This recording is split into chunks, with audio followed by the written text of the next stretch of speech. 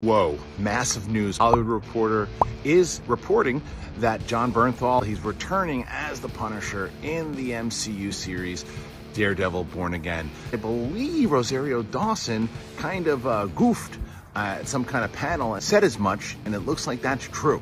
Bernthal coming back as the Punisher, Frank Castle back, now he's being introduced into the MCU. What do you guys think? Go ahead and comment and let me know.